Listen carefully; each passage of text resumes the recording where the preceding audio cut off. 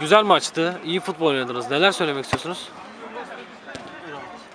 Evet, takımın sözcüsü olarak birkaç açıklama yapmak isterim. Geçen sene de, e, geçen dönem diyelim, aynı takımla karşılaştık. Yalnız berabere kalmıştık. Takımda bir iki değişiklikten sonra takım kendini toparlamış gördüm ve güzel, rahat bir e, oyunla e, maçı kazandık. Özellikle Ömer Burak'ın ve Kaptan Onur'un oyunlarıyla e, rahat bir galibiyet aldık.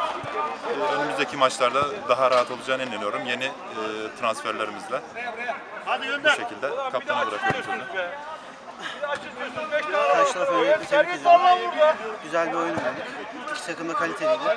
Karşı taraf zaten İstanbul'un özellikle önde gelen üç takımının karmasından oluşmuş bir takımdı. Biz de bunun bilinciyle oynadık. İyi motive olduk. Takım oyununu iyi sergiledik. Hücumda ve defansta çok iyi işler yaptık. Önde yapmak istediğimiz bugüne kadarki çalışmalarımızın sonucunda önde baskıyla rakibi sıkıştırıp hataya zorlama oyununu bugün iyi başardık. Rahat bir galibiyet aldık. Karşı taraf çok kaliteliydi. Ona rağmen iyi bir galibiyet aldık. Takımımı kutluyorum. Daha iyi yerlere geleceğiz. Teşekkürler sağ olun.